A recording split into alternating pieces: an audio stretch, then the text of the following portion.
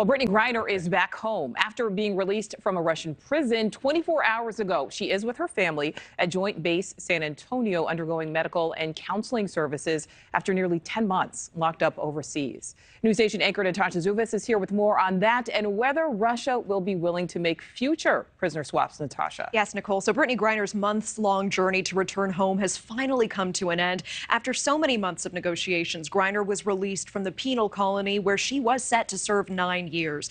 Meanwhile, we are tracking the White House denying Saudi Arabia's claims that the kingdom was involved in the Griner negotiations. The press secretary is saying, quote, the only countries that negotiated that deal were the United States and Russia. Brittney Griner is back on American soil. A plane carrying the 32 year old WNBA star arrived at a San Antonio military base early Friday. The White House says she is in good health and good spirits and is reunited with her wife. She will be offered medical care and counseling on site. Do you know where I'm heading to? No. No? No. no. You fly back home? To, to the U.S. To the U.S. Okay. Конечно. Okay.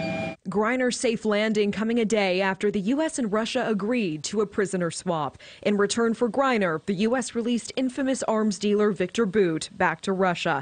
Bout was serving a 25 year federal prison sentence on terrorism charges. Bout's wife and mother greeted him on the tarmac in Moscow late Thursday. The prisoner exchange earning both praise and scrutiny across the American political spectrum. But Russian President Vladimir Putin today says he is open to similar talks in the future.